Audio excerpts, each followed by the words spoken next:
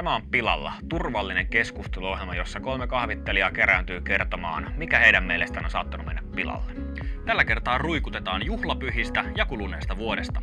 Lisäksi saadaan tietää, mikä vierastamme hajottaa. Kun nämä aiheet on käsitelty, niin me äänestetään niistä, niin sinäkin saat kuulla, että mitenkä maailma makaa meidän mielestä. Tervetuloa tämän joulupöydän ääreen.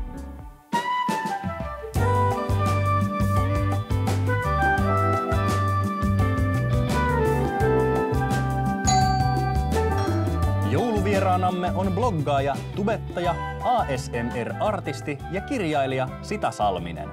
Sitä tunnetaan YouTubesta, jonne hän tekee niitä paljon puhuttuja kuiskailuvideoita, eli ASMR-tuotantoja. Videotouhujen lisäksi hän on juuri kirjoittanut Lupa-nimisen kirjan aivan toisenlaisista touhuista, joiden luontoa en tässä tohdi tarkemmin täsmentää. Joulupöydän antimeksi sitä on tuonut tähtitorttuja. Hei, kiva sitä, kun tulit meidän joulupöytäämme. Kiitos, kun saan olla joulupöydässä. Ja nyt mä kaadan sen glögiä Joo. vuoden ajan kunniaksi. Toivottavasti mä en nyt läiköä tätä. Näin, hienoa. Mitä sä olit? Joulutorttuja sä oot tuonut? Joo. Upeaa. Nämä tuoksuu ihan superhyvältä. Oh, kiitoksia. Kippistetään tortuilla. Torttukippiksellä. Skål. Ja pilallisten asioiden äärelle mennään. Joo. Mikä, mikäs ottaa päähän? Ruokamainonta on pilalla.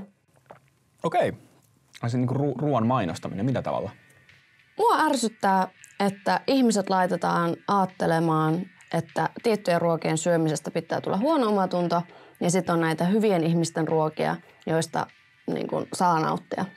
Mua ärsyttää se, koska ruoka on ruokaa ja ei mistään tarvitse tulla huono omatunto. Esimerkiksi nyt vasta oli yhden tietyn yrityksen ö, somekampanja, ja siis kaikille vaikuttajille oli laitettu luultavasti briefiin, että sanokaa, että tätä voi sitten syödä hyvällä omalla tunnolla. Ja se oli tämmöinen proteiinituote. Joo. Eli tämmöinen perinteinen herkku, johon on lisätty proteiinia, jolloin siitä tulee yhtäkkiä mukaan tämmöinen, että siitä ei tarvitse tulla huono omatunto. Mutta kun se on piiloviesti sille, että no siitä tavallisesta versiosta pitää tulla huono omatunto. Aivan. Niin, että Mua on jotain, se. niin, että tavallaan ikään kuin on jotain, suuri osa ruuista on sellaisia, että sun pitäisi niin kuin problematisoida ne Joo. itsellesi. Mm. saattaa itsekin sitten jotenkin vahingossa ylläpitää semmoista laihdutuskulttuuripuhetta, mm. vaikka ei sitä muuten niin kuin allekirjoittaisi. Niin vaikka just puhuin jostain joulutorttujen syömisestä jonain niin kuin cheat dayna. Joo. Tämä on jotenkin kielletty hedelmä tosiaan. Joulun jälkeen sitten paremmille tavoille ja elämäntaparemonttia pitää laihduttaa ja Niin sehän on niinku tavallaan ihan kiva juttu, että sanotaan ihmisille, että mit, miten voisi elää ehkä terveellisempää elämää. Mm. Mutta jos miettii sitä ihmisten niinku, sitä terveyttä, niin mielestäni aika iso, isokin ero siinä, että sanotaanko, että hei, että kannattaa harrastaa liikuntaa, kuin sanoa, että, tai antaa sellainen ajatus, että sun pitää lopettaa joku asia, missä nautit, vaikka jonkun mm. tietyn ruoan syöminen. Sydänliitto on tehnyt tuossa viime vuonna sen kyselyn, että, että joka kolmas suomalainen koki vastanneista niin kuin ahdistusta syömisestä. Ja osa syy siihen oli just tämä, että kun ei oikein tiedä, mitä näistä ohjeista ja kaikista sloganeista nyt pitää sitten noudattaa. se, että aiheutetaan ihmisille morkkis jostakin, että älä syö näitä ja nämä on tosi pahaksi. Jotenkin ajatellaan, että ihmisille tulee yhtäkkiä joku hirveä inspiraatio, että hei mahtavaa, että nyt laihdutaankin tästä. Ja ylipäätään se, että pakotetaan kaikki laihuttumaan. Musta tuokin on jo ihan niin kuin jotenkin uskomatonta, koska se, että ihminen on jonkun kokoinen, niin se on vaan fakta, että se ei suoraan kerro sen terveydestä mitään. Totta kai ruokavaliolla on merkitystä mm. siihen, että mikä sun terveydentila on, mutta mun mielestä sillä, että miten siitä viestitään ihmisille, mm. niin sillähän jos sen tekee väärin, että siinä on niinku tällainen negatiivinen viba jostain Jep. huonosta omastunnosta, niin sehän voi olla niinku, toimia vähän niin kuin itseään vastaan. Toisaalta myös kaikista tuotteista ja palveluista, niin niistä tehdään semmoinen asia, mikä olisi niinku nautinto, että nukkumisesta nautinto, työnteon pitää olla nautinto, istuminen nautinto. Oikeasti? Joo. Mitä, He- meillä he- on törmännyt? Pirkka-oluessa lukee raikas olut nautinto. Eikö voi vaan niinku elää elämää silleen, että, että kaikki ei oiskaan nautintoa, tai että saisi niitä nautintoja jostain muista asioista kuin tuotteista tai palveluista, mitä kuluttaa. Mutta koetko sä itse sitten näitä paineita niistä huoma- huonosta omasta tunnosta, kun sä mietit, mitä sä tuot kotiin ruoaksi? En ehkä enää, mutta minäkin olen sairastanut syömishäiriön yläasteella. Ja ehkä senkin takia niin kuin, mua oikein ekstra paljon ärsyttää se, että niin kuin, ihmisiä ja nuoria istutetaan sitä ajatusmallia, että on olemassa tämmöinen täydellinen, terveellinen, ahkera, reipas ihminen, joka voi sitten hyvällä omalla tunnolla välillä syödä jotakin proteiinijäätelöä. Tuolla historialla niin olet varmasti herkempi huomaamaan Joo. nämä niin kuin viestit noissa mainoksissa. Itse asiassa mä oon huomannut sellaisenkin nyt viime aikoina jossain ihmisten instastoreissa, että jos ollaan salilla oikein vetämässä kova treeni, niin se on vähän sellainen, niin kuin, että koska eilen söin tämän, niin nyt pakko mm. Joo. rankkutreeni tai joku tällainen. Jep. Et sun pitää niinku, se- tämähän on ihan tässä niinku opus Dei-tyylistä itsensä ruoskimista. Niin on. että- Ja se on kaikki Joo. laihdutuskulttuuriin. Ihan täysin. Joo. Et on näitä syntejä ja sit pitää jotakin paasata tai aloittaa dietti tai mennä salille. Niin se on niinku katumusharjoitus. Se on mm. on mitään just tekemistä sen niinku terveydestä puhumisen kanssa. Mm. Niin ja kuinka paljon mielenterveys vaikuttaa meidän terveyteen. Se, että meillä on hyvä olla. Niin sitten vaikka olisi super niin kuin noudattaisi kaikkia ohjeita ja näin, mutta sitten jos se oot ihan rikki ja sun suhde ruokaa ihan perseestä ja näin, niin sitten taas onko sekään niin kuin semmoinen kokonaisuutena hyvä juttu. Mikä se on se eeppinen goal, mitä me tavoitellaan koko ajan? Jos tiedätte, niin kommentoikaa tuonne alle.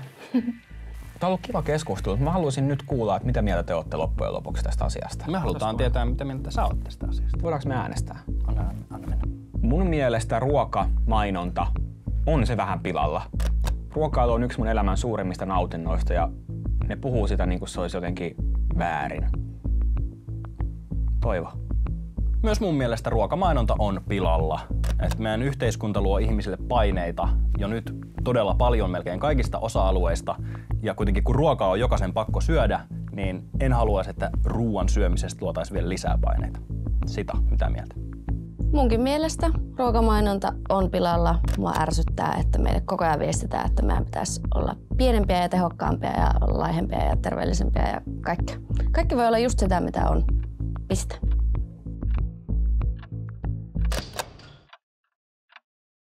Hyvässä jouluisessa yhteisymmärryksessä saatiin todettua, että, että se on pilalla. Niinpä. Yöt ovat raittihit, ei tähdet koske, ei taijat tartu, eikä noidat hurmaa. Niin armias ja pyhä on se aika. Joulu nimittäin. Ja nyt minä teille ilmoitan, että joulu on pilalla. Joulukin. Joulu on pilalla. Sekin siis hetkinen. Monen ihmisen ainoa hetki, kun ne saa vähän rauhoittua, päästä arjesta irti, niin mitä tota, sä tuut tänne tollasia puhumaan? Kato, niinhän sen pitäisi Mutta olla. saako ne rauhoittua? Nimenomaan, että saako ihmiset rauhoittua. Että joulu, jonka pitäisi olla tämmöinen rauhoittumisen ja läheisten ja perheiden ja sukulaisten yhteinen juhla, missä keräännytään ja, ja vähän niin kuin ollaan omia itsejämme ja levätään, niin sen sijaan sitten tulee semmoinen hirveä projekti, että pitää suunnitella se tosi pitkälle etukäteen, kaikki pitää olla just tip-top. Semmoisen asian, minkä pitäisi lievittää stressiä, niin sitten tuleekin semmoinen asia, mikä aiheuttaa stressiä. Ja se on mun mielestä pilalla. Mulle joulu ei ole henkilökohtaisesti pilalla, mutta me ymmärrän tämän, että se olisi niinku yleisesti. Kyllä muakin ärsyttää, miten jotenkin semmoista kulutushysteriaa tämä koko kuu on. Me ei vietetä joulua tavallaan meidän luona. Ei ole vielä lapsia, niin sitten tuntuu, että vähän niin kuin menee jonkun muun järjestämään joulun. Ei ole ehkä joutunut ko- kokea sitä niin kuin pahinta järjestämishäsellystä. Mä kyllä sanoisin, että siis kyllä mä, mä edelleen niin kuin kaikkien näiden vuosien jälkeen tykkään tästä niin kuin joulutouhusta, mutta mitä, mitä vanhemmaksi mä tuun, niin sitä vähemmän mä jotenkin tunnen sitä ajan kulua ja niin kuin vuoden eri vaiheita. Ai jaa. Ja sitten se johtaa ehkä siihen, että mä yritän niin kuin voimistuttaa sitä kaikkia jouluasioita. Joka vuosi se kuusi on aikaisemmin siinä ja pitää olla enemmän ja enemmän sitä koristelua, että mä saan niin kuin sen tunteen, että nyt se tapahtuu se joulu. Mm. Mä vahvistan niin kuin itselleni niitä joulun symboleja, että mä tuntisin sen vuoden kierron paremmin. Puhumattakaan siitä kulutushysteriasta, mm. mistä sitä jo sanottiin. Niin se joo. Et perheet kokoontuu yhteen kerran vuodessa ja sitten ne ostaa toisille jotain kertakäyttöistä muoviroinaa, mikä heitetään pois heti joulun jälkeen. Ja väkisin, sille että niin sovitaan, että ei osteta lahjoja, silti kaikki ressaa ja ostaa toisilleen jonkun, mitä ei todellakaan tarvi, ihan muodon vuoksi vaan, että saa antaa sen paketin. Tuo on sit- ihan turhaa. Mutta tiedättekö, Ylen uutisista luin, että ilmeisesti joissain piireissä jo se kä- niinku käytettynä ostetun lahjan antaminen, niinku second hand juttujen, mm. niin se, siitä on vähän niinku tämä stigma poistumassa, että se on ilmeisesti vähän jonkun jossain määrin yleisempää kuin aiemmin. Joku ehdotti myös, että lainaa kirjastosta kirjan, jos on joku, joka lukee nopeasti mm-hmm. ja sitten antaa sen ja laittaa vaan, että mihin se pitää palauttaa. Mä en kyllä uskaltaisi ehkä kokeilla tota. Mutta yleensä se menee silleen, että jos ei itse osta kenellekään joululahjoja ikinä, niin jossain vaiheessa sitä lakkaa itsekin niitä. Aika hyvä taktiikka. Pitäisikö ottaa toi käyttöön? välillä on mietityttänyt se, että kun ei itse ole mitenkään ihan hirveän hengellinen niin kuin mm. kirkkouskonto mielessä, niin sitten välillä on silleen, niin, että miekin täällä hulluna fiilistelen joulua, mutta mulle se merkitys on oikeasti aika kaukana siitä mm. ns. alkuperäisestä, mikä se pitäisi olla, että onko siinäkin joku ristiriita? I don't know.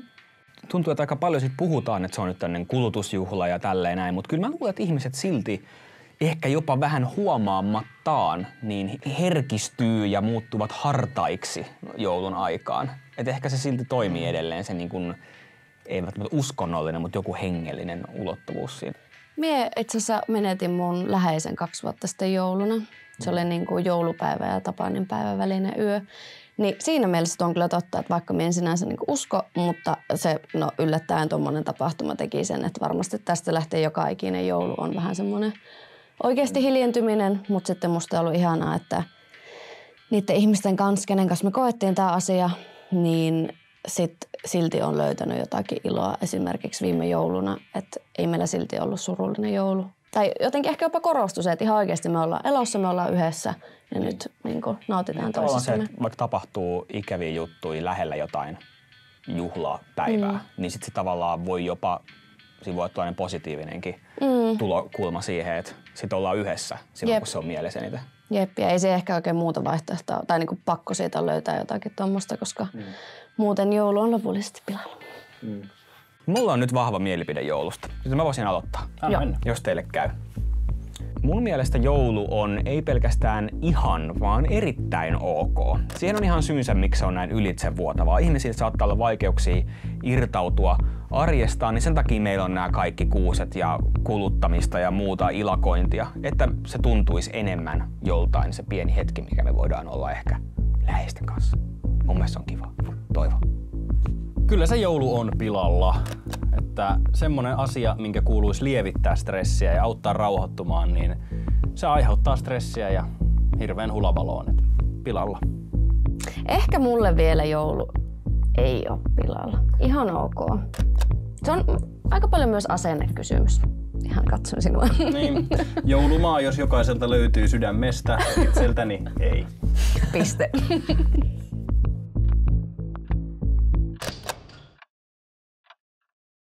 Hyvä, hyvää joulua kaikille. Joulun ei-pilallisuuden kunniaksi. Vuotemmehan ei suinkaan lopu jouluun, vaan sen jälkeen tulee vielä uusi vuosi. Ja, ja koska on nyt on vuoden viimeisen pilalla aiheen aika, niin haluaisin puhua kanssani juurikin siitä vuodesta. Eli oliko 2019 mm. pilalla vai ei? Aika iso aihe. Mulla on vähän sellainen olo itselläni, että mitä nyt tälle uutisen, uutisia seuranneena jäi mieleen, niin siellä on ollut poliittista sähläämistä, maailmalla on ollut joka mantereella maastopaloa ja on väkivaltaa ja kaiken kukkuraksi vielä huono Euroviisu-voittaja, tylsä. Kuka se oli? No niinpä. En muista. Niin. Kaikki, mitä mulle tulee nyt mieleen 2019, niin ei se mitenkään kauhean hohdokasta ole. Että kyllä mun mielestä mä melkein olisin jo sen pilalla kannalla. Mitä mieltä sitä sä oot? Millainen on ollut vuosi 2019 sun elämässä? Mun elämässä on ollut hyvä vuosi. Öö, toteutin mun pitkäaikaisen unelman ja julkaisin oman kirjan. Mutta vaikea miettiä, just kun uutisiakin tulee niin paljon ja tuntuu, että tavallaan ehkä suurennellaan joitain juttuja ja ei uutisoida tarpeeksi semmoisesta no, hyvistä ja huonoista jutusta. Että se, sekin on aika silleen tietynlainen filtteri ehkä siinä, että mikä somessa puhututtaa ja niin kuin joku asia saa jonkun oman hashtagia ja jotakin ei, niin kuin, jostakin ei puhuta ollenkaan. Niin en oikein tiedä, että mikä se keskiarvo olisi tälle vuodelle. Tavallaan tuntuu, että tämä vuosi on ollut semmoinen, että vaan me uhkataan kaikesta ja ihmiset valittaa ja mitä ei saa sanoa, mutta jotenkin mienään sen silti semmoisena edistysaskeleena, tai askeleena, joka on pakko ottaa, asioista on pakko puhua. Tuo on kyllä itse asiassa ihan ehkä fiksu näkökulma siihen, että vaikka näyttää, että on ollut hirveästi niin kuin vastakkainasettelua, mm. niin siinä voi ollakin ihan niin kuin hyviä ö, niin kuin vaikutuksia sille, että joku sanoo jotain ääneen, mistä niin. syntyy se että, se, että ehkä sen vastakkainasettelun aika olisi ollut jo aiemmin. Oletteko te muuten, kun nyt vaihtuu tämä vuosia, vuosikymmeniä, niin oletteko te semmoisia uuden alkujen ihmisiä? Saatteko te virtaa siitä, että alkaa uusi lukukausi niin kuin tavalla. Niin. Minä en, minä en opiskele enää, mutta silti niin lukukauden vaihdos on mm. mulle semmoinen jotenkin inspiroiva aika tai maanantai tai joskus musta tuntuu, että vaan ihan vaan, että me herää aamulla, me on sillä jes, puhdas pöytä. Meillä täällä, turvallisesti täällä eletään jossain lintukodoissamme, että se vuosi vaihtuu, me voidaan ajatella, että ah, puhdas pöytä ja elämäni alkaa uudestaan. Niin ei ne maailman kauheudet keskeydy meidän mm. joulun ja uuden vuoden ajaksi, mm. vaan siellä ne rullaa edelleen. Totta. Mä, mä oon sitä mieltä, että kun, kun joku ikävä tai hyvä asia tapahtuu, varsinkin yllättäen, niin se ei ole sidottu siihen, että, että milloin se tapahtuu, koska sen vaikutukset kuitenkin jatkuu paljon pidemmälle. Mm. Voidaanko silti äänestää, että oliko se 2019 vai ei? Kyllä mä silti voisin sanoa, että se 2019 oli pilalla. Mä oon vähän ehkä pettynyt vaan kaikkeen siihen, mitä tapahtui. Uh, Mutta mä haluan korostaa, että ei se vuoden vaihtuminen auta asiaa. Me ollaan vaan itse se ihmiset sen kalenterin tehneet, että saas nähdä kuinka, millaiset hommat jatkuu ensi vuonna sitten. Toivo. 2019 oli valitettavasti pilalla. Enemmän pilalla kuin 2018, mutta onneksi vähemmän pilalla kuin 2020. Mulle 2019 ei ollut pilalla. Ja tuli mieleen, että mä oon käynyt eri vuosiluvullakin tässä tänä vuonna. Kävin Taimaassa sukuloimassa. Siellä on vuosi 2562. Niin voin kertoa jo nyt, että sekin on ihan kiva vuosi. No, mutta tota näin. Kyllähän tämä tästä. Niin. Tota, sitä, haluatko lähettää jouluterveisiä? Haluan. Tuohon kameraan. Minä haluan ehdottomasti lähettää jouluterveisiä mun pikkusiskolle Rovaniemelle. Nähdään pian. Jouluna tulen sinne.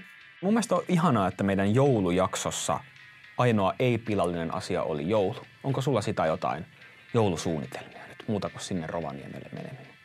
Minä myös Joensuuhun ja Ouluun, eli mulla on tämmöinen kolmen kaupungin kiertue tulossa. Aha. Paljon sukulaisia. Sukulaisten kanssa miten Joutuuko ne maksamaan siitä? Joo, todennut mitään. Me, me yhden kuvan saa. Joo, yhden kuvan saa, mutta se, sekin on kympi. Hei, meitä oli kolme ihmistä ja neljä joulutorttua, eli yksi jäi ylimääräiseksi. Hei, haittaako jos mä syö, söisin sen? Kun mun Kyllä se haittaa. Vielä vähän... Mä ajattelin, että mä voisin. Me just menisin ehdottaa kanssa, saisiko vieras? Niin nyt me kaikki halutaan se vai? Pitäisikö se jakkaa? Niin Ei, joo, jos se jakaa kolmeen palaa. Onko to, teillä jotakin leikkomista? Keittiön puolella on joo. veitsi. Okay. Mikäväs? Jes, kiitos. No niin, mutta tämähän on hyvä idea. Joo, siis muutenhan me oltaisiin tapeltu siitä. Hmm. Onko toi ulkoovi? Ja seuraavaksi ilmoituksia. Me ollaan saatu postikortti henkilöltä Real Fan 420. Hän sanoo, tämä ohjelma on ihan ok huolimatta siitä, että olette mahdollisesti Suomen keski-ikäisimmät nuoret. Okei, okay, kiitos. Astronaatti ja Pirkka-oluen tuoksuinen tyttö on lähettänyt meille lahjakortin. Das ist ein Gutschein für, für einmal in den Waldscheißen. Danke schön. Sitten kortti J. Pukilta, jossa hän sanoo, hei Toivo ja Matti, ystävyytenne on niin lämmin. Joku voi jouluna olla halin tarpeessa. Voitteko halata toisianne ja toivottaa hyvää joulua? Hyvää joulua. Hyvää joulua. Mikäli sinulla on ilmoituksen arvoista ilmoitettavaa, ilmoita ilmoituksesi joko YouTuben kommenttiosiossa tai lähettämällä postikortti ruudussa näkyvään osoitteeseen.